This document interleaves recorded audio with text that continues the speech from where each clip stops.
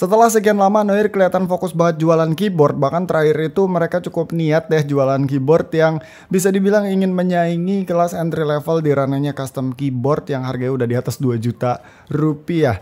Akhirnya sekarang mereka merilis sebuah gaming mouse yang cukup menarik banget buat dibahas karena ini mouse pertamanya mereka, tapi mereka tuh langsung main ke yang kelasnya high performance, bukan yang kelas nanggung atau bahkan yang entry level. So, mari kita bahas lebih lanjut tentang mouse terbarunya Noir ini. Nah, seperti yang kalian lihat di sini, nama mouse-nya ini adalah M1. Dia ini dijual dengan harga Rp799.000. Dia ini datang dengan box yang desainnya entah kenapa kayak kurang noir banget, terutama dari pemilihan fontnya sih.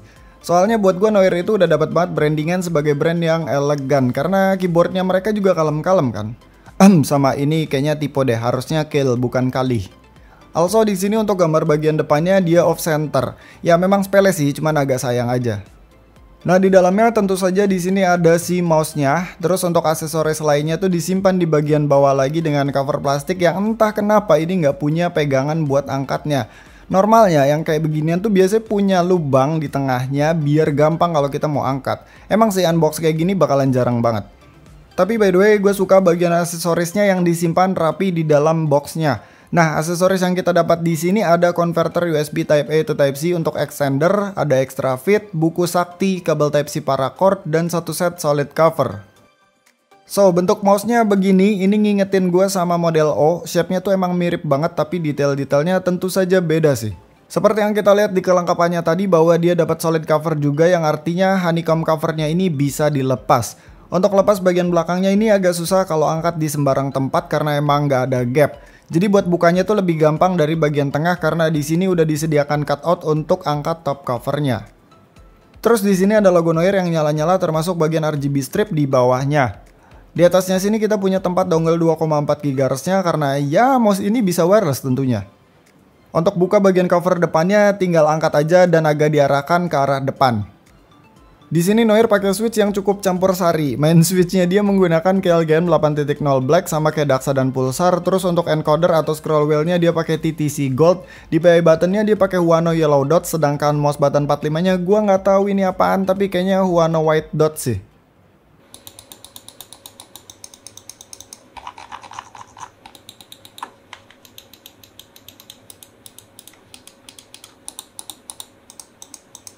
Pindah ke bagian bawah dia punya PTFE Fit yang udah bagus dan di sini dia punya switch untuk pindah-pindah modenya. Jadi CM1 ini punya mode kabel dongle 2,4 GHz dan juga Bluetooth. Untuk penggunaan mode kabelnya aman-aman aja sih karena kabel bawahnya dia ini udah paracord tapi emang kerasa berat di moncongnya gara-gara headernya cukup gede. Ini cukup umum terjadi sih di mouse wireless. Terus untuk penggunaan mode dongle-nya sejauh pengetesan yang gue lakukan semuanya aman-aman aja nggak berasa delay sama sekali. Sedangkan untuk mode Bluetoothnya pasti dia perlu pairing dulu. Di sini dia punya tombol BT juga kalau kalau mouse-nya itu belum masuk ke mode pairing. Ciri dia siap pairing adalah ada LED biru blinking di bagian scroll wheel-nya. Ini mode bluetoothnya sama sekali nggak gua rekomendasikan buat main game karena berasa banget delaynya. Kalau untuk office sebenarnya oke-oke aja karena ya office kan kita nggak butuh gerak sebegitu cepatnya seperti ketika kita main game. Keunggulan dari mode bluetoothnya ini yang pertama tentu saja kita jadi nggak perlu colok-colok dongle lagi. Ini mungkin kepake banget buat laptop user karena port laptop tuh biasanya kan terbatas banget ya. Kayak laptop gua aja cuman ada dua biji doang port USB-nya di kanan satu, kiri satu. Nah karena keterbatasan tersebut jadi enak gitu kalau pakai bluetooth nggak perlu colok-colok dongle lagi lagi. Terus yang kedua dari segi um, baterai harusnya ya, sebenarnya gue belum bisa kasih data lengkapnya um, tentang sejauh apa perbedaan konsumsi baterainya antara penggunaan Bluetooth dan juga dongle karena ada keterbatasan waktu. Tapi dari pengalaman yang udah-udah, memang kalau penggunaan Bluetooth ini jauh lebih hemat daya daripada dongle 2,4 GHz. Untuk senjata utamanya udah pada tahu lah ya, dia pakai sensor 3370 dari PixArt. Ini nggak menarik buat dibahas sih karena tuh sensor ini udah kenceng pol. Nah, kita lanjut aja bahas dimensinya. Ini mouse ambidextrous tentunya dengan profil yang cukup ceper. Tingginya dia ada di 38,1 mm, mirip-mirip sama model O regular. Sedangkan panjangnya dia ada di 120,8 mm dengan lebar di 62,8 mm. Ini mouse ambidex yang tipe gue banget sih. Dipakai palm grip enak banget apalagi klik buttonnya punya lekuk yang pas di jari. Dipakai claw grip juga masih enak banget begitupun dipakai finger tip. Gue rasa dimensinya M1 ini cenderung aman untuk kebanyakan orang dengan tangan yang ya medium lah di kisaran 18 cm. Bobotnya dia juga menarik karena cuma ada di 72 gram aja dengan menggunakan honeycomb covernya dan dongle di dalamnya atau sekitar 71 gram kalau dongle-nya dilepas. Sedangkan ketika kita menggunakan solid cover beratnya itu ada di sekitar 73 gram cuma beda 1 gram doang dan gue prefer pakai solid covernya biar berasa lebih aman aja dari debu atau keringat. Nah, terus di sini Noir M1 juga udah punya software tampilannya begini. Di bagian pojok atas ada indikator dari baterainya, terus sebelah sini nih ada seputar key assignment jadi untuk mapping fungsi dari masing-masing tombolnya. Di bagian bawah ada di bounce time yang minimumnya itu di 0 milisecond. Terus di tab kedua ada seputar DPI nih ya, um, stage-nya ada 7 dan bisa dikecilin juga kalau mau. Terus ini untuk indikator DPI juga bisa diotak-atik, DPI efeknya ada di bagian bawah sini. Sisanya ada pengaturan polling rate, lift of distance atau LOD, ripple fix line dan bla bla bla. Terus di menu ketiga ada pengaturan seputar makronya dan terakhir pengaturan seputar RGB-nya dengan mode yang gak terlalu banyak tapi udah cukup banget. Ada color pick juga atau color wheel dan di belah kanan bawahnya di sini ada brightness, speed dan bla bla bla.